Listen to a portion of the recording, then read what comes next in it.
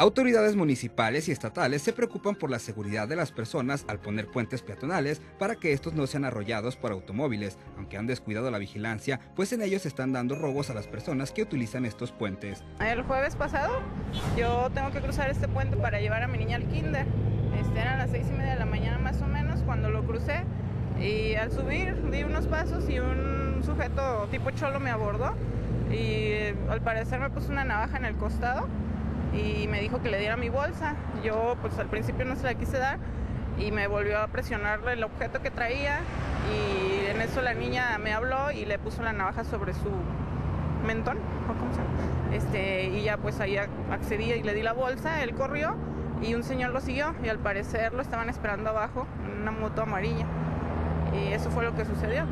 El puente amarillo, como se le conoce, que está ubicado sobre el periférico y Rancho Nuevo, se ha convertido en el sitio ideal para los malvivientes, pues según los usuarios, los robos son cada vez más constantes. Sí, yo he escuchado, compañeros, amigos de esta colonia me han dicho que ese puente es muy peligroso, ya sea hasta por arriba o por abajo también.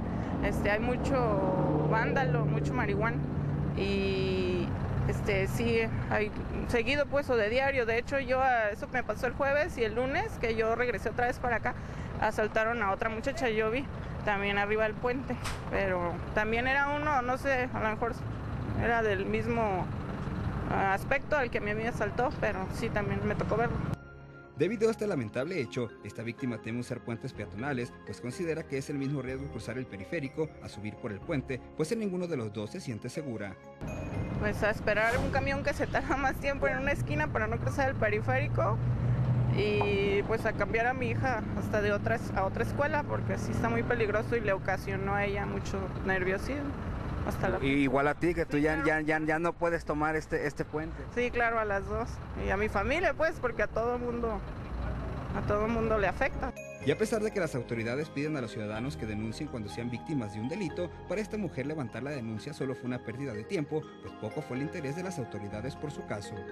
Fui al Ministerio Público de una Cruz Verde, pero así como que más a fuerzas me, levantaron el acta, no me explicaron lo que tenía yo que poner, yo puse, pues andaba nerviosa, yo puse lo que yo creía, me dijeron que estaba mal, se molestó porque le pedí otra hoja para llenarla y al final la llené pero le dije que si me firmaba o que si le firmaba, me firmaba el de recibido un sello y así como que de mal modo, sí, ahí está, toma tu papel. Y fue todo, le dije que qué procedía.